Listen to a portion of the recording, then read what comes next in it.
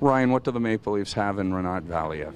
Well, big smile first and foremost, but uh, he's a he's a unique defenseman in that he's a big guy and he has the ability with the puck to be a, a really good decision maker on the offensive blue line with the puck. He looks people off and he's he's real real deceptive with the puck uh, and the biggest thing about Rinat is that his uh, his ability to be a physical player. He can play any type of game you want to play, and uh, he's uh, extremely coachable.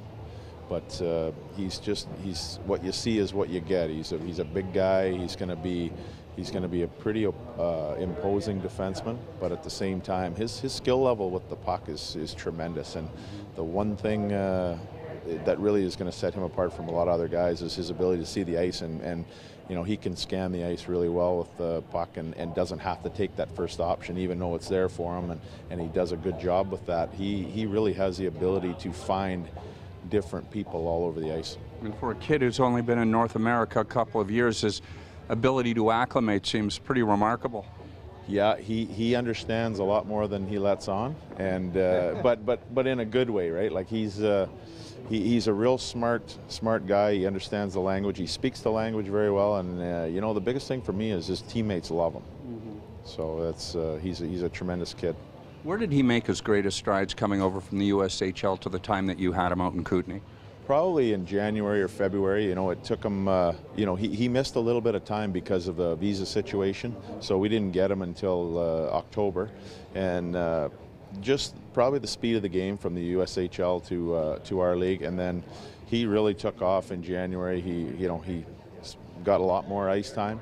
And he just had a tremendous amount of confidence, and, and he's just skyrocketed to, to be our, our best defenseman in the playoffs. So, really the sky's the limit for him just because of he can play any type of game. He can be a, a shutdown guy. He's a, he's a good power play guy. You know, he, he's an all-around defenseman. What are your plans for him this year in terms of his progression and just how much better he can get? Well, he probably won't come off the ice.